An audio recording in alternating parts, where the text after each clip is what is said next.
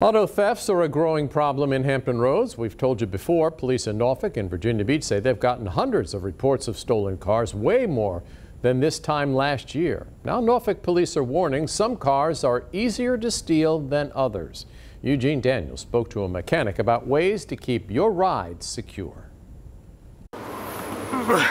William Baynard, known as the Wizard, has spent 30 years working on cars in Norfolk. Lately, he's hearing every other day from customers worried someone might take their car. Theft's been really high, really high. Right now in Norfolk, car thefts are trending up. Norfolk police data shows year-to-date numbers are the highest in four years, with just under 800 stolen cars so far in 2022.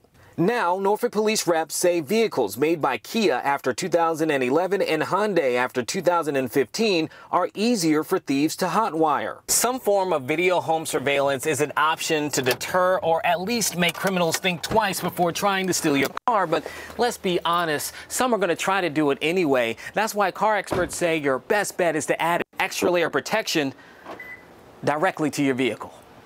Here at Wizards Fabrications, they specialize in aftermarket additions, including extra security features. Alarms and remote starts, keyless entries, doesn't have to be all the bells and whistles. He also recommends adding what's called an alarm kill switch, which essentially cuts the power with the flip of a switch while setting off an alarm. It's all about making it harder for the perpetrator. However, police say in most cases, drivers are making it easy. Baynard says a simple fix goes a long way. Roll your windows up, lock the doors, you know, don't leave your keys in the car. In Norfolk, Eugene Daniel, 13 News Now. Baynard also recommends a simple GPS tracker system in the glove box or center console.